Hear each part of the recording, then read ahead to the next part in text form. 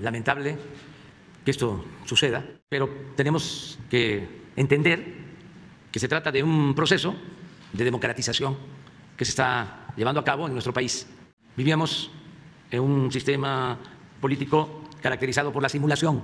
A partir de que se lleva a cabo un cambio verdadero, que ya no es el gatopardismo que se manifestó, se expresó en el año 2000, ahora que de verdad hay un cambio, o se está llevando a la práctica una transformación, pues eh, eh, se quitan la máscara, muchos, en todos los ámbitos, en el periodismo, en la academia, en la intelectualidad, en el servicio público. Siempre lo he dicho y estoy convencido de que la verdadera doctrina del conservadurismo es la hipocresía.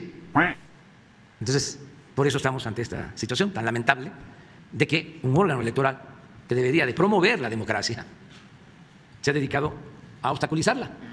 Lo fundamental es que la Constitución obliga a que si se cumplen requisitos que establece la ley, se tiene que llevar a cabo una consulta para hacer realidad el método de la revocación del mandato.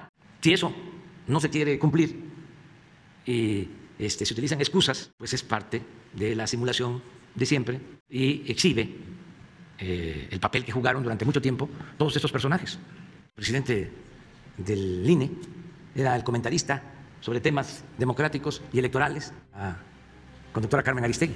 También, afortunadamente, pues hay otras instancias, está el Tribunal Electoral, está la Suprema Corte, y no importa que se demore el proceso.